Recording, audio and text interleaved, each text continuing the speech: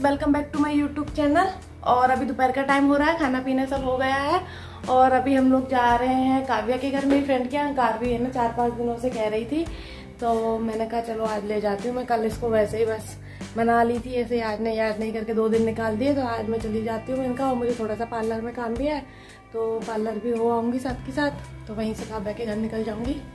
चलो, उसकी जिद भी पूरी कर देते हैं आज, क्योंकि फिर टाइम नहीं मिलता, रोज़ ऐसे ही निकल जाता है सारा दिन। कुछ कुछ काम में। तो आज फिर चलते हैं। जाती हूँ काव्या के यहाँ इसको लेके। तो फ्रेंड्स मैं आ गई हूँ काव्या की बिल्डिंग में और मैं पार्लर गई थी लेकिन वो दीदी है ना खाना खाने चली गई हैं अभी। तो वो आधा एक घंटे में आएँगी तो मेरा काम नहीं हुआ मुझे सिर्फ़ थ्रेडिंग करवाना था तो काम नहीं हुआ। अभी देखती हूँ काव्या के साथ अगर काव्या को जाना हो तो फिर दोनों साथ में चले जाएँगे थोड़ी देर बाद। पास में ही है घर के उसके घर के पास में ही है। गार्डन नहीं जाएँगे हम। चलो सामने हटो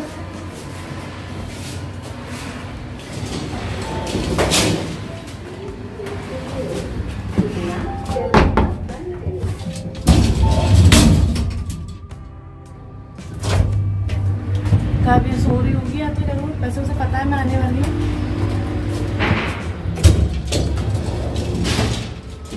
चलो।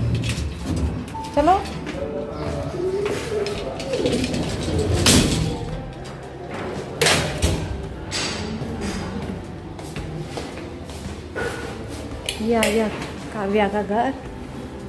यार भी देखो कैसे खुश हो रही है।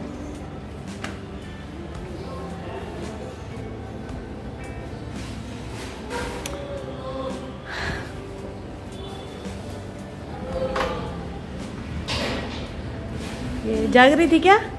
जाग रही है? कि सो रही थी? लेटी थी। देखो काव्या हमारा वेट कर रही थी। पता था ना उसको हम आने वाले वो हमारा वेट कर रही थी, सोई नहीं आज बेचारी हमारे चक्कर में।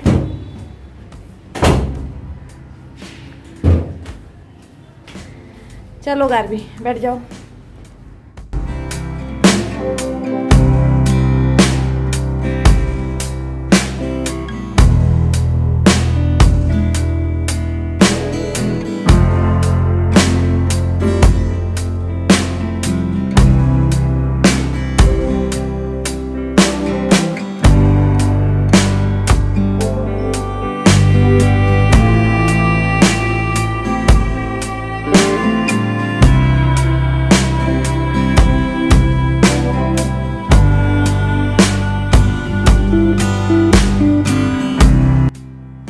एक घंटे उसके घर पे रुके, बातचीत वगैरह की। उसके बाद फिर मैं पार्लर आ गई थी, काव्या मेरे साथ आई थी। तो मैंने कहा, आई हूँ तो करवा जाती हूँ, नहीं तो फिर रोज़ रोज़ आना नहीं होता। धूप धूप भी बहुत पड़ती है दिन में तो फिर आलस सा आ जाता। है रोज़ कई दिन से सोच रही थी तो मैं आ गई थी। गनगौर भी आ रही है अभी गनगौर पूजा भी है। हम लोग गनगौर पूजा भी करते हैं। तो इसलिए फिर मैं आ गई थी। फिर वापस मैं काव्या के घर ही चली गई थी। काव्या घर के पास में ही है तो वहीं चली गई थी। शाम को आए थे वहाँ से तो हम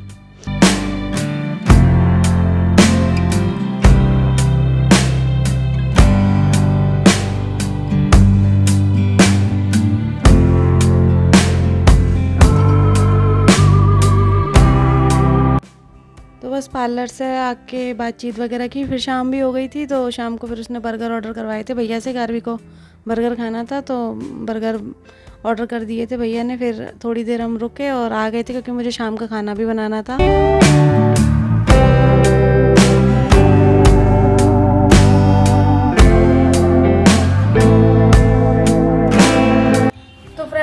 गए अब काव्या के घर से, अभी आई हूँ जस्ट और ले मतलब साढ़े छः बज गए हैं, साढ़े छः पौने सात बज गए हैं और अब बनाऊँगी मैं खाना क्योंकि सुबह भी घर में खाना नहीं बना था। मतलब हम लोगों ने तो बना लिया था, लेकिन इसके पापा बेचारे सुबह बाहर खाए थे तो अभी तो मैं घर पर ही बनाऊँगी। खाना बनाना था तो इसलिए आ भी गई मैं जल्दी से, ये गारवी तो आने का नाम ही नहीं ले रही थी वहाँ से।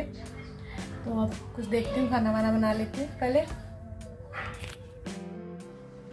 बस आके हाथ मुँह धो के कपड़े वगैरह चेंज करके सब्ज़ी काटने लग गई थी, तुरई रखी हुई थी, घर में ताज़ा ही तुरई थी, एक दिन पहले आई थी तो मैंने कहा चलो यही बना लेती हूँ, बाद में फिर है ना काट वैसे दो तीन दिन पुरानी हो जाती है ना तो कटती नहीं है, ढंग से छिल भी नहीं पाती है तो ये जल्दी से बन भी जाएगी तो मैंने कहा मतलब सिंपल सी बना ली थी, बस काट के मैंने फ्राई कर दिया था इसको।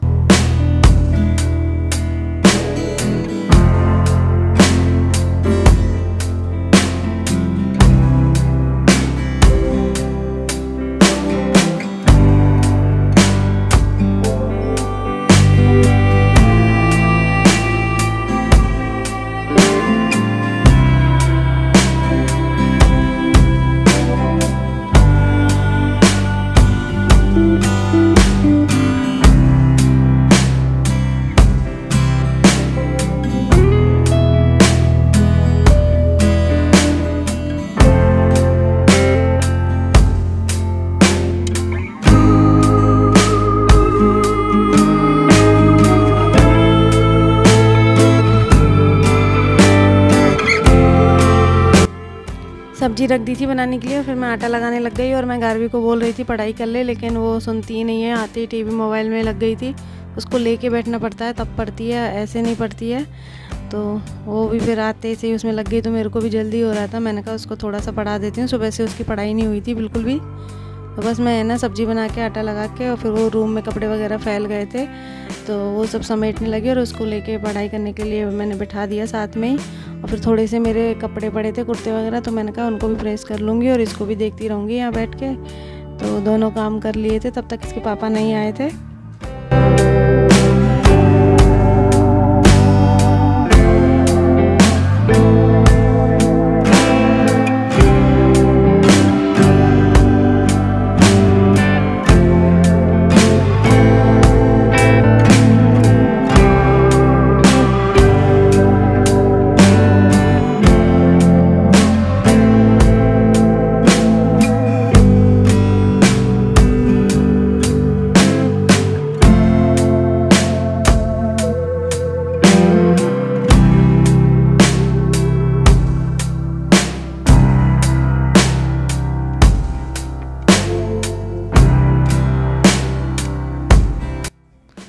बस गारबी को पढ़ा रही थी और प्रेस वगैरह करके फिर इसके पापा भी आ गए थे। इतनी देर में मैं थोड़ी सी एडिटिंग करने लगी तो ये आ गए थे, फिर मैं खाना बनाने लग गई थी। तो मैंने कहा, चलो, अब इनको खाना दे देती हूँ दोनों को ही। तो खाने का काम ख़त्म हो जाएगा, फिर मैंने भी खा लिया। साथ के साथ पापड़ वगैरह आ ही गए थे सामान के साथ तो मैंने कहा, चलो, आज ये भी सेक देती हूँ।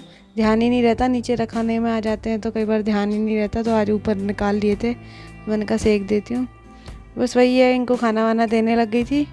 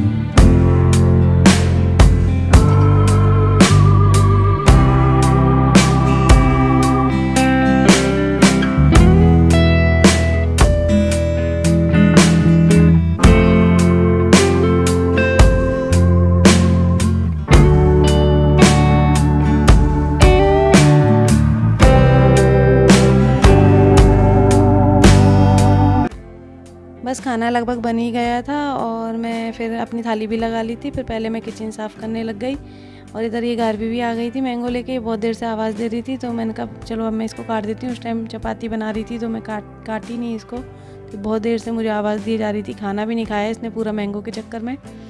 फिर मैंने कहा, चलो पहले मैं ये बर्तन वर्तन निकाल देती हूँ मतलब और फिर है ना किचन की स्लैब साफ़ करके फिर मैं खाना खाने बैठ गई थी, क्योंकि बाद में फिर आलस आता है, फिर सीधे डायरेक्ट बर्तन ही साफ़ करने रह जाते हैं। तो सब बर्तन वगैरह खाली करके फ्री में खाना खाने बैठती हूँ।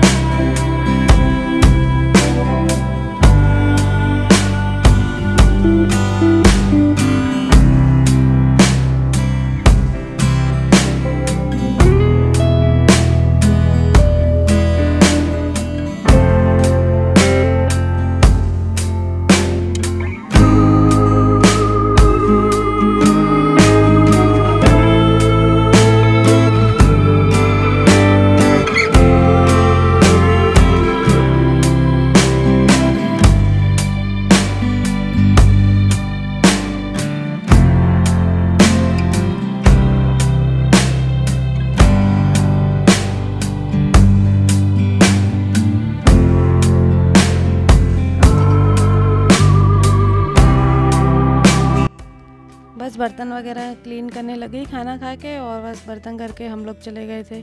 गार्डन, वही रोज़ का नियम है, हमारा गार्डन जाने का तो तो गार्डन चले गए और इधर आज, अब गर्मी भी पड़ने लगी है तो रात को बादाम भिगो देती हूँ तो सुबह दे देती हूँ सबको। तो रात को भूख रख देती हूँ, मुझे तो कई बार याद ही नहीं रहता है, पर गार भी याद दिला देती है। और ये देखो भी एक्सरसाइज करने लग गई, आती तो दौड़ लगाने, पर पहले यहाँ आके लटक जाती है और किसी दिन इसको चोट आएगी ना, तब जाके ये रुकेगी। फिर इसके पापा है ना चिल्ला रहे थे, इस पर ये सब कर रही थी तो क्योंकि लग जाएगी लोहे के हैं, फटाफट चोट आने में टाइम नहीं लगता, पर सुनती नहीं है। फिर मैंने बोला कि मैं घर पापा जा रही हूँ, तब जाके मानी और अब है ना, देखो अपने पापा को दौड़ लगवा रही है और अपनी ही चलाती है, चलने नहीं देती, उसके पापा झड़झड़ करने लग जाते हैं, बोलती है, मैं जैसे बोलती हूँ, वैसे ही करो। तो बस वैसे दौड़ाने लगी रहती है उनको।